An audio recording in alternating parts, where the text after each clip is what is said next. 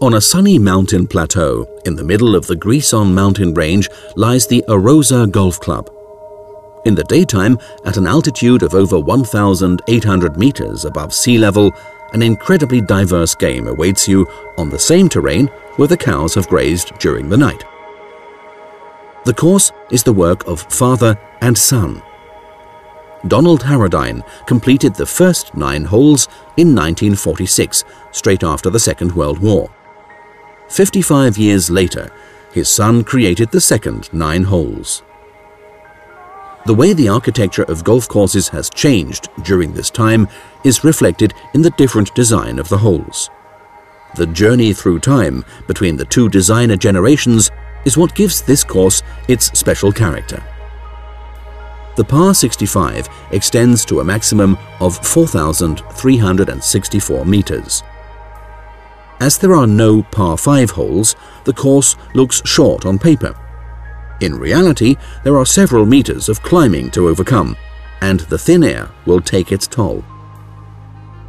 Therefore, do not expect to have an easy game. Before you start, enjoy the fantastic panorama which will accompany you for the next few hours.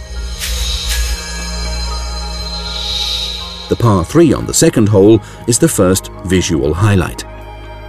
The green appears to be almost carved into the slope on the opposite side of the valley.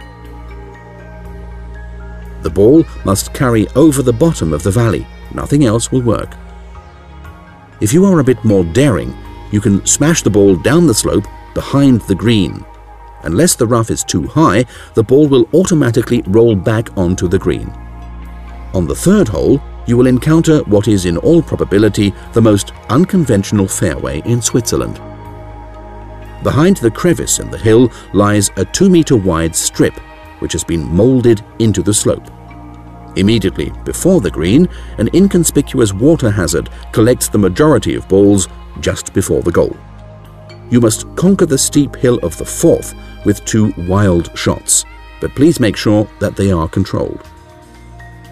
The well on the fourth provides the thirsty golfer with refreshment. A hint for overseas visitors, yes, this is indeed drinking water and you can safely drink it. The fifth hole is probably the highest in Europe, a wonderful par 3.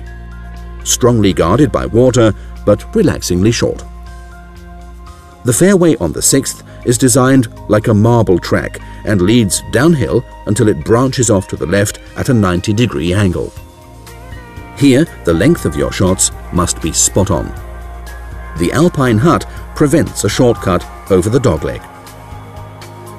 On the 10th, one of the older holes, you must skillfully avoid the deep ditch in the middle of the fairway. If your ball lands in the ditch, you have gambled away your sight of the flag.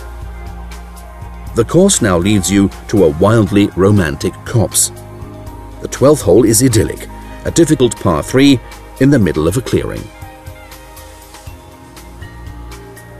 The 13th hole is also a tricky par 3. You somehow just do not know what to expect when standing at the tee. This uncertainty does not make your tee shot any easier. A beautiful alpine garden can be found on the green at the 14th and 16th holes. The last two holes once again demand your entire talent. The forest on the 17th hole is in the way, about 100 meters before the green and narrows the path. The fairway on the 18th, with its downward slope, resembles a mogul piste. Here the winner is the person who is luckiest. The difficulty changes enormously depending on how your white friend stops in the terrain. Boredom is unheard of at Arosa Golf Club. This course is infinitely varied. The mountain panorama and the alpine environment complement the perfect golfing experience. It is a real pity that the course is only open between May and October, depending on snow conditions.